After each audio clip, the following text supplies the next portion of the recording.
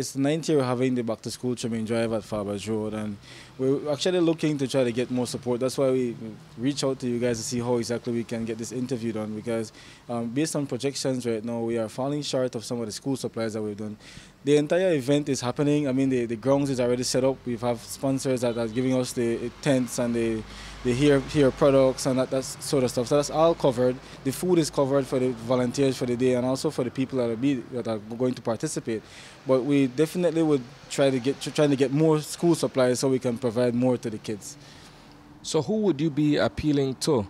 Uh, for this kind of assistance? Well, anybody that, that has access to, to, to school bag, backpacks, any um, books, you know, pens. Sometimes we need sneakers for the kids.